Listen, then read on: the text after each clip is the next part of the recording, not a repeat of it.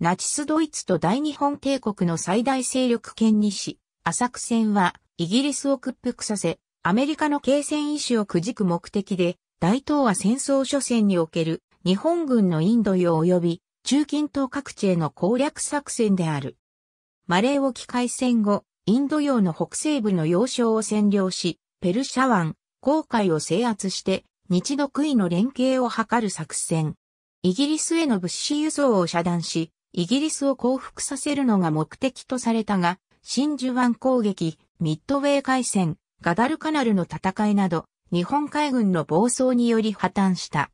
昭和16年11月15日、第69回大本営政府連絡会議において、大日本帝国の戦争戦略、国家戦略として、対米英乱、小戦争終末促進に関する副案が決定された。その方針は以下であった。アメリカ海軍主力については、あらゆる手段を尽くして、こちらに誘い込んで撃破するという主政作戦であった。イギリスの屈服を図るための方策は以下であった。南方資源地帯の獲得を目指した第一弾作戦は、昭和16年12月25日の香港占領、翌昭和17年1月3日、シンガポール占領、同年2月15日のラングーン占領、3月9日のジャワ占領と成功を収めた。昭和17年3月7日、大本営政府連絡会議で第2弾作戦の詳細検討の前提としての今後、取るべき戦争指導の対抗が決定されたが、陸軍と海軍の戦略は対立した。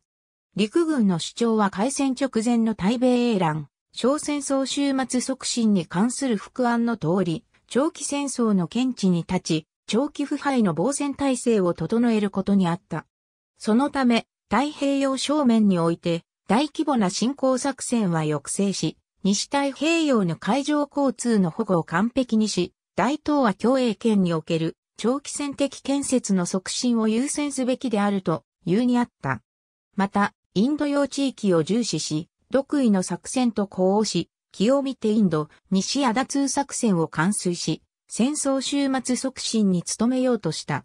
一方、海軍は大東亜戦争の主作戦は太平洋正面にあるとの立場に立ち、早期決戦の構想を堅持し、太平洋正面における主政的戦略を構成的戦略に転換して、ハワイ攻略やアメリカの対日反攻の最大拠点である豪州攻略を強調した。海軍はマリアナ諸島、カロリン諸島、ニューギニア西部異性の絶対国防圏から遠いラバウルに基地航空部隊を集中し、5月上旬にポートモレス B を攻略する MO 作戦を実施した。